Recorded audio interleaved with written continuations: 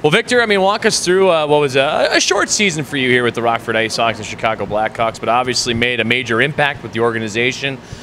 In your time here, I mean, what's the biggest thing you learned and the biggest takeaway that you're now rolling into the summer of training with? Uh, oh, well, it's a lot. Uh, most of all, it's uh, things in my game that I have to work on, and that's maybe like have to be more intense, be strong along the board. So I have a huge off-season summer in front of me, so I have to work on my speed, strength, and everything like that to, to get better and uh, try to fight for a spot up top. So.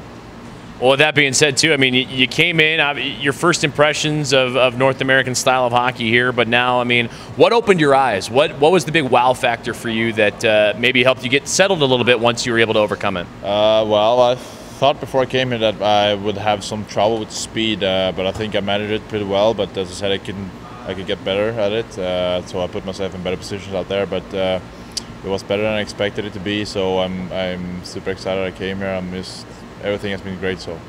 What, what are going to be your memories of this group in that locker room? Obviously, it was it was a special group from my understanding, and, and the playoff run that you had obviously galvanized, and, and you get to have great relationships with everyone. So I'd imagine it, it, looked like it was both fun on and off the ice. Yeah, absolutely. I mean, uh, every day we came here to the rink, and we all had a smile on our faces, and uh, we enjoyed all the ride.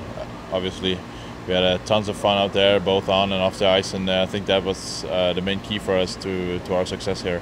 Uh, we had, well, we had an insane run, and I think we did really good, and uh, we should be proud of ourselves. Did any of your fellow countrymen over here help you adjust to the game at all in your conversation? Some of them veterans here with the organization. Did they help uh, kind of help guide you on, on, the direction that the Blackhawks are looking for?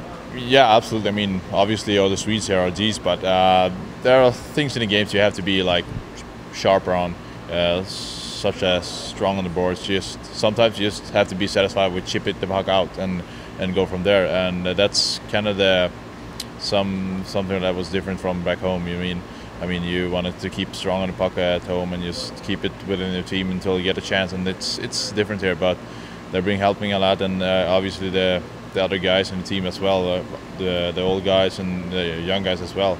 Uh, they've been helping a lot. So as well as guys, coaches, everything they've been helping me, so I could uh, adapt pretty good here, and I felt like uh, for every game I had, it's it's getting better. So.